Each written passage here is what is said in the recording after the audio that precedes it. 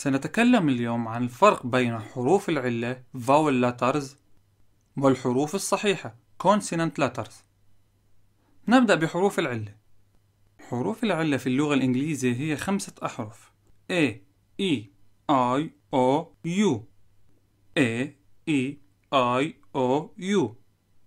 وتسمى أيضا الحروف المتحركة أو الحروف الصوتية.